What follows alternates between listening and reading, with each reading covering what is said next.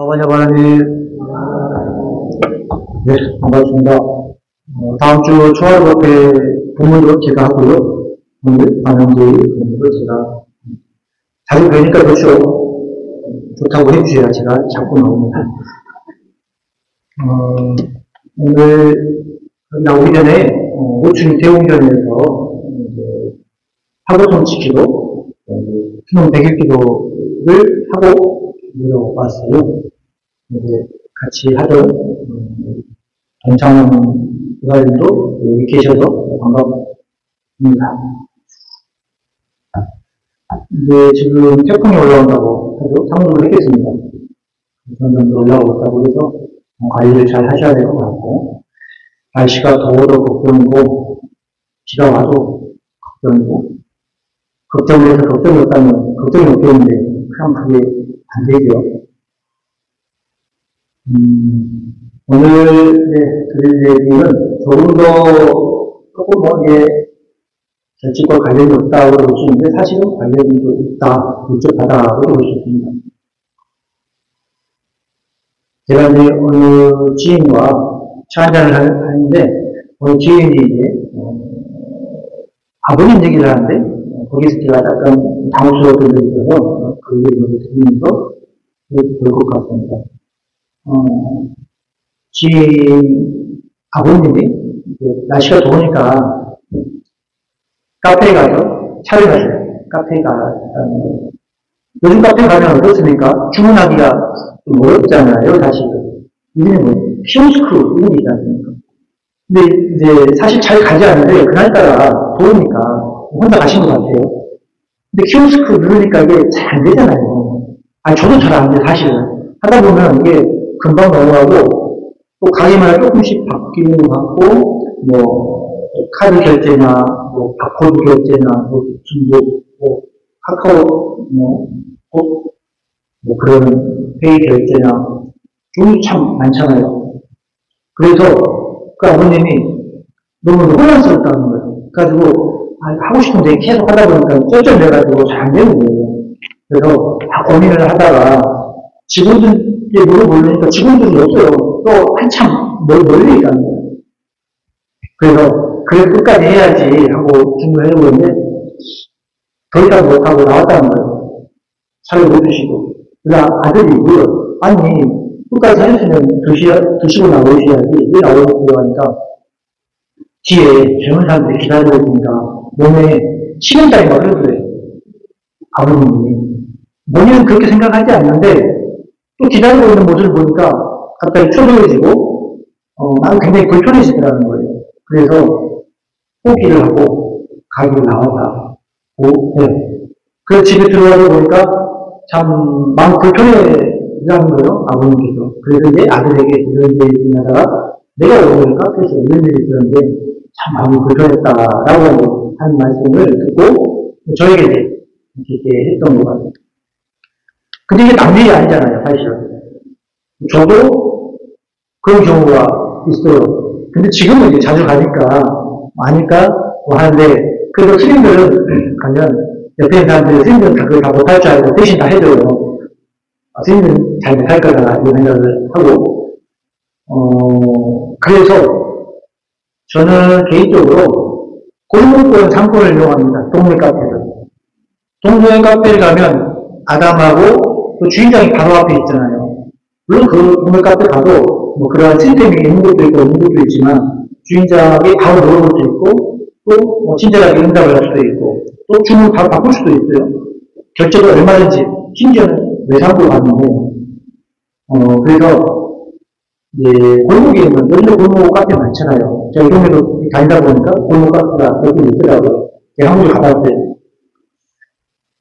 또 지역 경제를 살리는 데 있어서도 사실은 동네 카페를 이용하는 게 좋을 것 같다는 생각이 듭니다. 왜냐하면 이 대리점 프랜차이즈는 다 본사로 이렇게 어, 물론 어, 자영업자의 이익도 남겠지만 그 기업이 아니니까 그래서 제 개인적으로는 그 작은 카페를 이용하는 습관이 조금 있어요. 그리고 좋다기보다는 오히려 더 편하다라는 관점. 오늘 드리고 싶은 말은 그런 거죠. 어, 자꾸 기계화되다 보니까 어려워지는 이 사회생활, 이 문화가 형성이 되는데, 이걸 어떻게 받아들일 것인가, 라는 거고. 그래서 개인적으로 이제 최근에, 이제, 뭐 광고가 나오긴 하는데, 영화제, 세계가 국제 거기 영화제, 여러분 뭐 광고를 보고 이렇게 시청하신 분도 계실 텐데, 그리고 이 영화제에, 회의, 영화제 운영하는 회의에 참석을 해요. 뭐 집회기구로서. 근데 시- 실질적으로는 거기 이제 동대 영상부하고 교수님들이 운영을 해요. 저는 이제 회의에 참석하는 거고, 유일하게 스님은 저 혼자 있습니다. 다 이제 제가자분들이 운영을 해요. 그런데 이제 연락을 받았는데, 올해부터는 그 QR코드, QR코드로 영화 예매를 해야 된다는 거예요. 그러니까 모든 사람이, 아시죠? QR코드, 상품 코드 찍는 거 있지 않습니까? 어, 바코드죠, 바코드. 상품 인식. 그 얘기 듣고 제가 조금 화가 났어요. 왜, 어, 불교 영화제인데, 불자들이 좀 나이가 있고, 좀 더 어려우실 텐데, 이 전화 예매나 이런 부분들을 참고를 내려놔야지, 왜 너무 사회를 쉽게 따라가는 건 아니냐.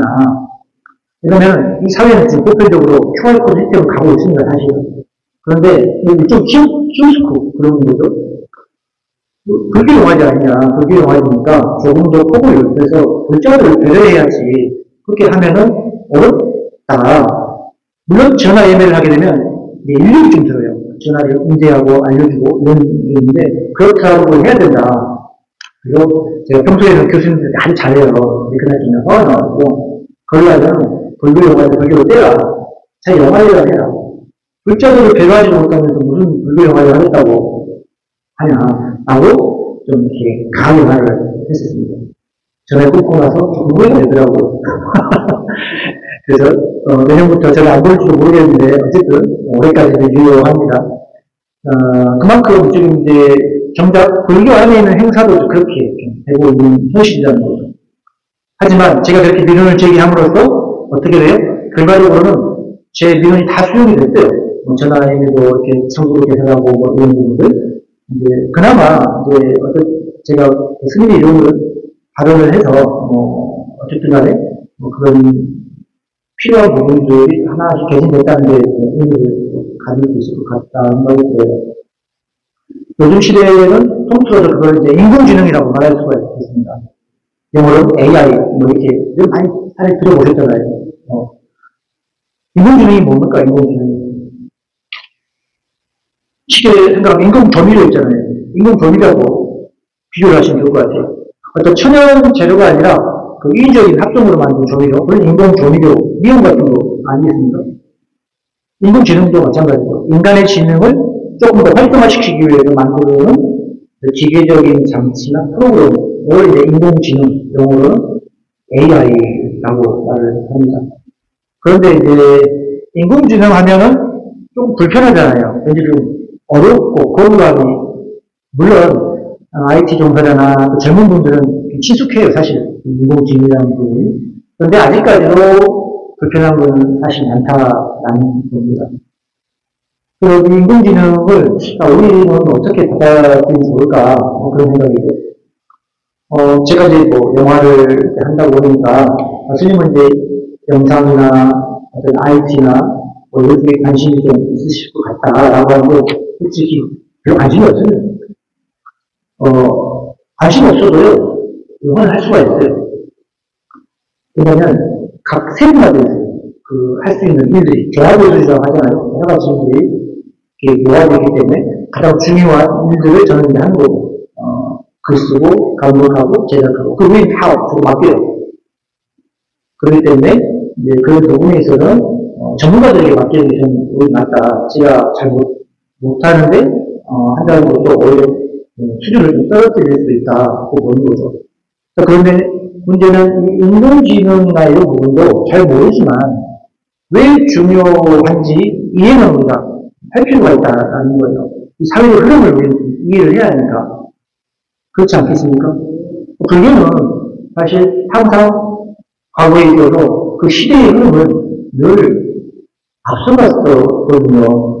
그런데 지금 이제 좀 그렇지 못하는 경우가 있지만, 만일 부처님이 지금 계셨다면 어떠셨을까요? 부통령은 굉장히 시대를 앞서갔던 분입니다. 그 당시에 있어서. 지금 시대에는 인공지능을 당연히 수용하고 이해를 하셨을 거예요. 우리가 앞으로 나갔을 거예요. 가까운 예로 이 불광과 어표도 마찬가지입니다. 광고 큰스님께서 그 당시에 처음 초창기에 문도 포교를 했잖아요. 지금 입장으로 보면 천만의 포교를 하신 거예요. 지금은 워낙에 이게 마련되어 있지만 그 당시에는 흔치 않고 유리가 없는 호흡 전법 방법론이었다는 거죠. 그렇기 때문에 우리도 그렇게 해왔어요 사실은 안 한 게 아니에요. 단지 매체가 좀 바뀌었다는 거예요. 시대의 흐름에 따라서. 새로운 게 아니고 그 변화적인 관점으로 보면은 이해를 하면 충분히 우리가 어, 인식할 수가 있다라는 겁니다. 그러니까 지금 그 우리가 관심이 있건 없건 간에 이 세상은 늘 변화를 하잖아요. 그 변화되는 흐름을 잘 이해할 필요가 있고, 불교가 도시에 있건, 산속에 있건, 어디에 있든 간에 이 세상을 향해서 항상 열려 있어야 된다. 특히 두방 목표는 거려야 된다고 생각해요. 그, 인공지능이 가장 유명하게 된 계기가 2015년경입니다. 아마 기억나실 건데, 그 알파고와 바둑기사 이세돌의 대결, 세계적인 대결이 됐잖아요. 결과는 4대 1로 압도적으로 졌어요. 한 번 이기는 것도 굉장한 수치라고 하더라고요. 그때 이후부터 인공지능이 우리 일상에서 이제 쉬운 유행어가 되었어요. 그리고 또 근자에 있어서는 코로나 때문에 굉장히 발달을 많이 했지 않습니까? 코로나 때에는 아주 유행했던 단어가 뭐예요? 메타버스. 많이 들어보셨을 거예요. 뭔지는 모르겠어. 휘니버스인지 뭐 자꾸 타라고 그러는데 하여튼 버스는 버스예요. 메타버스. 메타버스가 뭐예요? 실제가 아닌 가상세계를 메타버스라고 하거든요. 그러니까 원래는 그 온라인의 문화에 익숙하다 보니까 점점점 발달해가지고 가상의 세계를 자꾸 만드는 거예요. 그런 문화가 형성이 되는 거예요. 가상의 세계에도 내가 가상의 세계를 경험을 하는 거죠. 대적으로. 그래서 그 당시에 불과 1, 2년 전에 얘기해요. 메타버스 라는 얘기가. 그래서 그 문학에서는 이게 이제 새로운 정말 문화적 아이템이다 라고 말을 하고요. 경제계에서는 굉장히 미래 공부같이 다음다고 말해요. 또 종교계에서는요. 기독교는 새로운 영적 세계관이 열렸다. 이렇게. 불교는 뭐라고 할까요? 공적 영지에 불국토가 연결이 되었다. 이렇게 표현을 해요. 그것도 있잖아요. 가상세계니까. 그런데 중요한 것은 또이 메타버스라는 말이 조용히 사그라들었어요. 없어진 건 아니에요. 지금도 메타버스는 활려가 해요. 그런데 메타버스를 능가할 만한 인공지능 프로그램이 생긴 거예요. 우리 삶과 밀접하게 생긴 인공지능 프로그램. 그게 혹시 뭘까요? 이제 들어오면 보셨을 겁니다. 챗 GPT라고 하는 챗 GPT라는 이제 인공지능 프로그램인데 이제 이 프로그램은 뭐냐면은 일종의 채팅 프로그램이에요. 내가 궁금한 것을 컴퓨터에 입력하면은 인공지능이 그 질문에 대해서 알아서 척척척 답변을 해줍니다. 그러니까 어떻게 보면은 바로 질문응답이 되는 거죠. 우리 실생활에 아주 밀접하게 되는 겁니다. 그래서 지금 이 챗GPT 인공지능은 맨날 젊은 사람들 대화가 잘안 돼요. 그래서 이제 아들, 딸, 혼자 동료 계신 분들은 뭐 이렇게 알고 있으면 또 대화를 뭐 유용하게 할 수 있는 거리도 될 수 있겠다라는 생각이 듭니다. 음, 제가 생각하기에도 지금 나오는 이 인공지능은 앞으로 어, 인공지능의 발달에 스마트가 같다라는 생각이 들 정도입니다. 보통 우리는 항상 스마트폰으로 이렇게 검색을 하지 않습니까? 스마트폰으로 검색을 해서 정보를 구하는데 인공지능은 그런 수고스러움이 없어요. 왜냐하면 그 인터넷에 내가 질문을 하면 거기에서 인터넷에 정보들을 알아서 취합을 해서 그 답변을 수술해 주는 거예요. 그러니까 그 시간과 노력, 공력을 무척이나 아낄 수가 있겠죠. 물론 그 안에는 가짜일 수도 있고 사실이 아닌 것도 좀 포함되어 있다는 장점이 있습니다. 하지만 그 정보를 어떻게 활용하느냐에 따라서 굉장한 가치가 있을 수 있다라는 거죠. 그 놀라운 건 뭐냐면 그 대답의 수준, 내용과 수준이에요. 중요한 건 이제 질문을 어떻게 하냐는 거라고요. 1차적으로 단선적인 질문을 하면 단선적인 답변이 나오는데 조금 더 2차원, 3차원적인 홍치적인 질문을 하면 홍치적인 답변이 나와요. 굉장히 어렵다죠. 그렇기 때문에 어, 이 어마어마한 정보들을 인공지능이 검색해서 논리적으로 딱 풀어놓는 거죠. 생각해보세요. 우리가 그것들을 검색하려면 몇년 며칠이 걸리거든요, 사실. 다 검색할 수도 없어요. 근데 가능한 거는 지금 인간 세상에서 인터넷이 생긴 지가 약 한 30년 정도 본격적으로 형성이 됩니다. 된다고 하면은 인터넷에 올린 정보들 있지 않습니까? 그 정보들을 이 인공지능 검색을 하는 거예요. 얼마나 인터넷에 올린 정보의 양이 많겠습니까? 우리는 검색을 못 하잖아요. 한 정도는 도착해서 이제 우리가 뭐 네이버, 뭐 구글 수준이잖아요. 근데 인공지능은 전반적인 검색을 할 수 있다는 거예요. 내용이나 정보의 양이 훨씬 어마어마하다라고 말수 있습니다. 그래서 이제 뉴스에서는 그래요. 이런 챗이 나오면서 인공지능이 나오면서 일자리가 약 1,400만 개가 없어질 것이다. 오는 안에. 또 대학교로 곧 공기가 될 것이다. 이런 뭐 얘가 이제 말을 하는데 바로 현실화 되기는 어렵겠죠. 하지만 이제 생각을 하고 겁니다. 그리고 요즘 학교에서도 그래요. 대학 교수님들이 고민이 뭐냐면 학생들에게 과제물 이제 내주면 리포트를 내주면 학생들이 인공지능에 맡겨버리니까 이게 이제 너무 쉽게 학생들이 과제를 쓰는데 교수님들이 그걸 판단할 수 있는 근거가 없는 거예요. 나쁘는 모르겠습니다. 지금은 그걸 막을 방법도 없고 다른 대체할 방법이 없어요. 그러다 보니까 고민인 거예요. 어떻게 이제 학생들을 지도해야 할까? 이런 고민이 현실적인 고민이 있다는 겁니다. 그래서 저도 궁금해서 이제 질문을 해봤어요. 인공지능에게. 자, 그렇다면 인공지능은 음, 네가 그렇게 똑똑한데 과연 깨달음을 이룰 수 있느냐고 그런 생각 어떠세요? 인공지능이 깨달음을 이룰 수 있을까요? 못해요? 일종의 로봇이죠. 로봇으로 깨달음을 이룰 수 있겠는가? 인공지능은 참 교묘한 일이라고 하더라고요. 결론만 얘기하면. 일단은 깨달음이란 뭔가 정의를 내려요. 현실을 이해하고 통찰하고 해탈 구하는 방법 등 이렇게 말하고 그리고 논리적으로 이게 정보를 딱 풀어요. 굉장히 잘 풀어요, 사실. 그 백과사전 수준입니다. 그런데 그러함에도 불구하고 아직까지 인공지능이 깨달음을 얻었다는 바는 없다라고 말을 해요.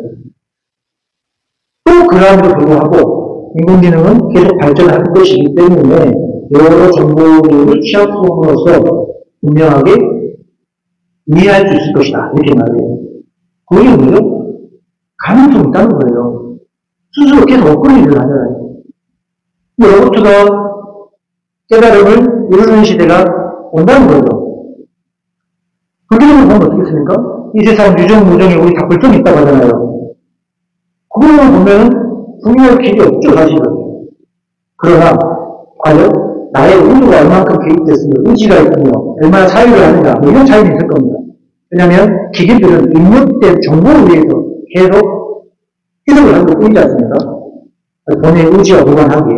근데 그 감정이라는 게 들어간다고 하면 또 다른 얘기가 된다. 보시죠. 자, 그리고 두 번째로는 어, 또 다른 이제 조금 복잡한 질문을 해봤어요. 자, 불교를 주제로 하는 내용인데 하나 써달라. 남녀 주인공이 있고, 자, 이 둘이 보니까 또 누군가가 있고 삼각관계야. 근데 또 누군가가 수국이니까 이 얘기를 줄거리를 좀 만들어 달라고 했더니 일분만에 얘기를 만들어줍니다. 내용이요, 꽤 그럴싸해요. 잘 만들었어요.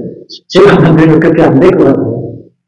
이 정도로 충분히 가는 내용을 만들어준다는 거예요. 뭐 그렇다고 해서 엄청나게 새로운 창의적인 건 아니에요.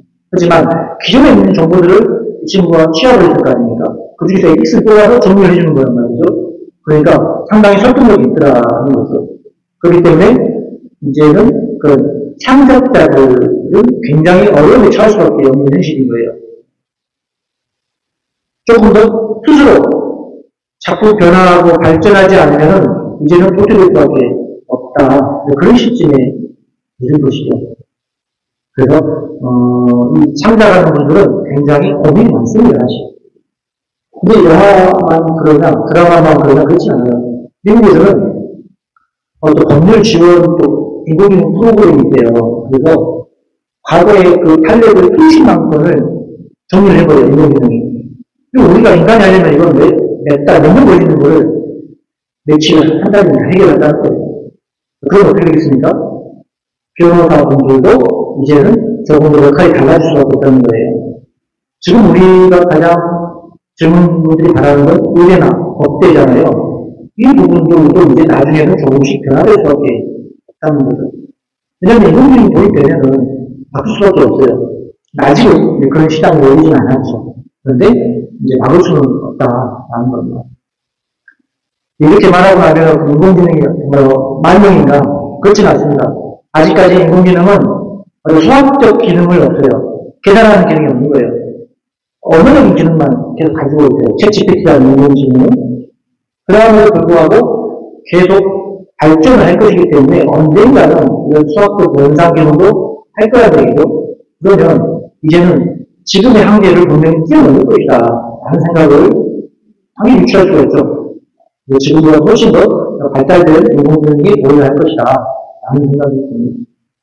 그 지금은 이제는 뚝배기 시대에는 조금씩 지나가고 있다고 해요. 그 뭐가 중요하냐? 실질적으로 이제 수행 능력, 또 그 변화된 시대에 어떻게 내가 적응할 수가 있는가, 능력, 한마디로 변화된 능력이 가장 중요한 됐다고 하는 거죠. 불교적으로 보면은 어, 세상의 변화는 영리적 세계는 당연한 거 아니겠습니까? 그럴 수밖에 없는 거죠. 부처님의 가르침 핵심이 뭡니까? 이 세상에 변화하지 않는 건 없다. 그걸 우리 제일 무상이라고 하잖아요. 어떤 새로운 시대의 그 문화가 문물이 오면 우리가 좀 답답하고 앞이 캄캄한데 그것이 단지 인공지능이어서가 아니라 새로운 정보에 대한 두려움, 무능 때문이라고 저는 생각을 해요. 그 반대로 생각하면 우리가 인생이 힘들고 이 상황이 막막하더라도 결국 재행이기 때문에 또 언젠가는 계속 변할 거라는 얘기예요. 그렇기 때문에 지금 우리가 있는 이 지금 이 순간 상황이 굉장히 소중한 것이다 라고 볼 수가 있습니다. 어, 오늘 이제 인공지능에서 제가 이제 말씀드린 거는 이렇게 급변하는 세상 상황 속에서 이해를 하고 자신감을 갖자는 거죠. 어렵게 생각하지 마시고 이 시대의 변화의 흐름을 이해한다면 인공지능이 나와도 사실은 두려워할 이유가 없는 것이죠. 그 흐름을 이해하고 순환적으로 이해만 한다면 특별하게 어, 어려울 건 없다. 또 인공지능에 불평이 있다고 한들 그또 보는 관점에 따라 인공지능은 제가 이제 어, 고배지를 써놨습니다만 관세음보다의 그 변화된 모습을 볼 수 있다는 거예요. 관세음보다를 우리가 보통 어떻게 말합니까? 아미타불에 하신다고 말을 하잖아요. 항상 그 변화된 모습으로 이렇게 보이잖아요.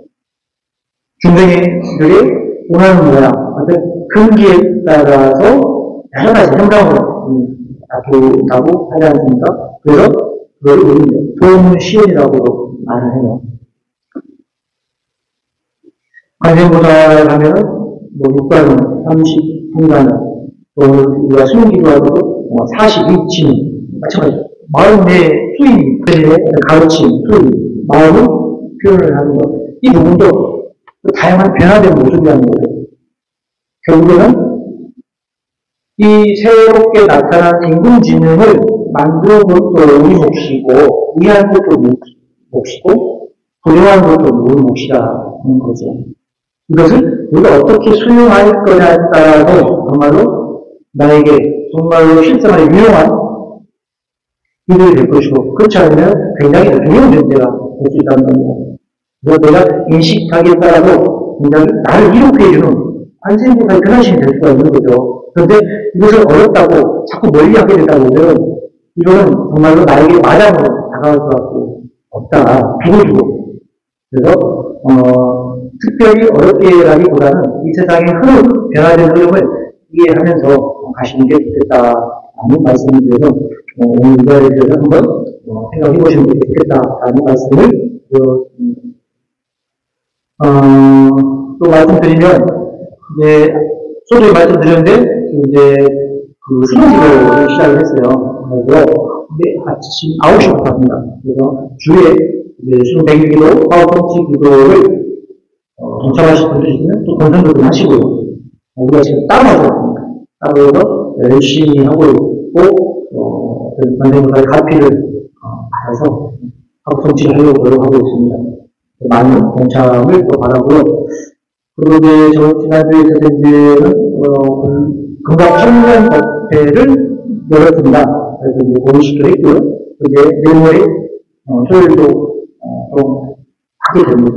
그래서 여러분들 많은 관심 바라고 주위에 좋은 글자들 있으면 어, 구강과 금강 청년협회로 추천도 하시고 어, 이렇게 나날이 조금씩 조금씩 어, 한발 한발 갖춰가고 있습니다. 여러분들이 많은 관심을 가지고 또 부동산 애나 지금이나 이렇게 아껴주시고 자랑스럽게 가시고 그래도 좋겠다라는 말씀을 드리면서 오늘 마무리하겠습니다. 마와자 바람이